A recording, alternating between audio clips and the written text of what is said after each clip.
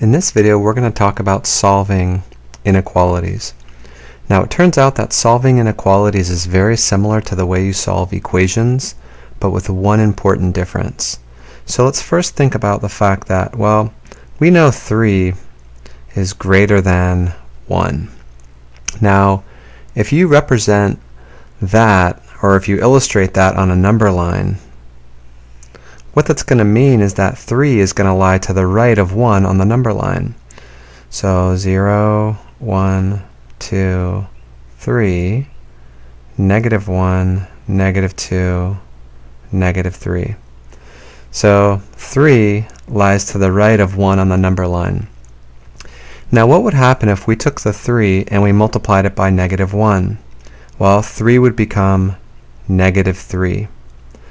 Now, we have a special way of looking at that process. So when I multiply 3 by negative 1, it becomes negative 3. And you can view that process as a reflection across 0.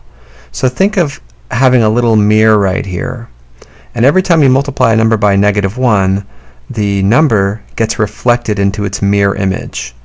So 3 times negative 1 mirrors, if you will, 3 to negative 3.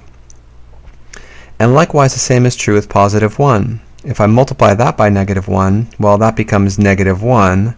And likewise, 1 gets mirrored into its, uh, or, or reflected, if you will, into its mirror image of negative 1. That is, 1 gets reflected to negative 1. Now, what's the significance of that? Well, notice that 3 lies to the right of 1.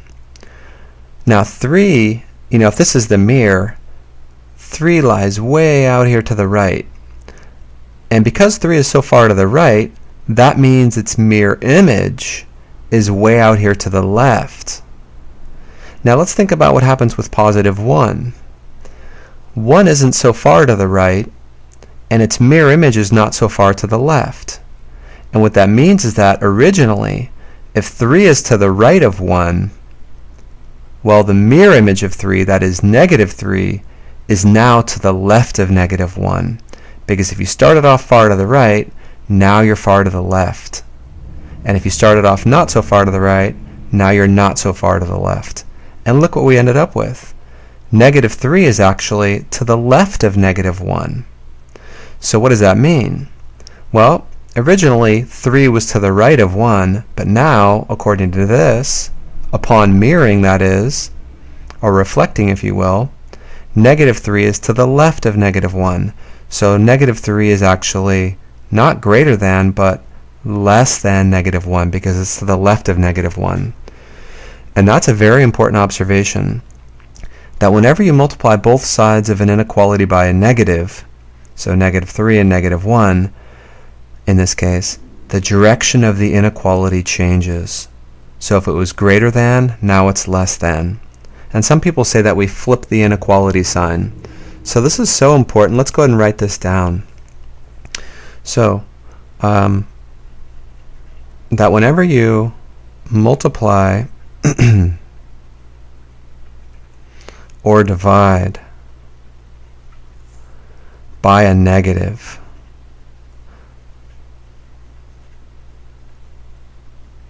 So by a negative number.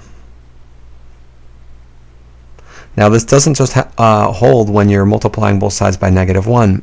it can be any negative number. And it also holds only if this is an inequality. So this is not true for, for an equation, only for an inequality. Whenever you multiply or divide by a negative number, you have to change the direction of the inequality symbol. Or you can say the inequality sign. Okay?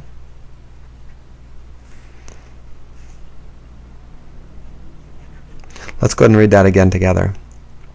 Whenever you multiply or divide by a negative number, you change the direction of the inequality sign. Let's see how that helps us solve an inequality. So let's say that we wanted to solve How about we have negative 2x plus 1 is greater than 7. Okay, so the good news is that you solve inequalities in a very similar way to how you solve equations, with the one important difference that whenever you multiply or divide by a negative, you have to flip the inequality sign. So if this was an equation, what I'd first do is subtract 1 from both sides, which is what I'll do here as well. So I subtract 1 from both sides, and now I end up with, well, it's going to be negative 2x on the left, and then it is greater than 6. And now I'm going to divide both sides of this inequality by negative 2.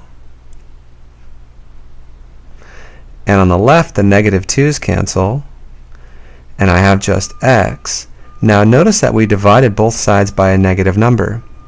That means that we have to change the direction of the inequality.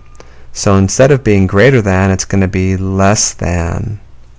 And then 6 divided by negative 2 is negative 3. So then when we graph this, uh, the set of numbers that satisfy this, so let's see, negative 1, negative 2, negative 3, negative 4. We want numbers that, are to the, that are less than negative 3. That means to the left of negative 3. So we shade as follows, like so. Okay? And this would be my answer. All the numbers to the left of negative 3. But the important point is, notice that I changed the direction of the inequality. So before it was greater than, and then it became less than when I divided both sides by a negative. Let's try another one like that. Let's say that we wanted to solve. How about um, 5 minus 1 half x is less than 7. Okay, so the first thing I notice is that we have a fraction involved. Now it turns out with inequalities you can clear fractions as well. So I'm going to multiply both sides by positive 2. Now on the left hand side, because it's a difference here, I've got to distribute that too. So 2 times 5 is 10. And then minus, well 2 times 1 half is 1 times x, leaves me with just x. And on the right hand side, it's going to be 7 times 2, which is 14. Now notice that in this case, I did not change the direction of the inequality sign. And that's because I multiplied both sides by a positive 2. You only change the direction when you multiply or divide by a negative number. Okay, so continuing, I'm now I'm going to subtract uh, 10 from both sides and I've got, let's see, on the left it's going to be negative x is less than 4. And now x is not yet isolated, right? I still have, it's, it's negative x over here. So negative x is, is the same as negative 1 times x. So I can divide both sides by negative 1. And the effect is that, well, the negative 1 divided by the negative 1 is positive 1. So on the left-hand side, I just have x but I did divide both sides by a negative, so I have to change the sign of the inequality, right? So instead of less than, it's going to be greater than. And now 4 divided by negative 1 is negative 4. Okay? So I want all the numbers that are greater than negative 4. So when I graph that, let's see, well, there's negative 5, negative 4, negative 3, negative 2. I'm just focusing on the part of the number line that's relevant to my problem. So numbers, numbers that are greater than negative 4, well, greater than means that those numbers lie to the right of negative 4. So I shade like that, and then I put a parenthesis on the negative 4 to indicate that negative 4 is not included. And this would be my answer. All the numbers to the right of negative 4, that is, all the numbers greater than negative 4. And that's how you solve an inequality.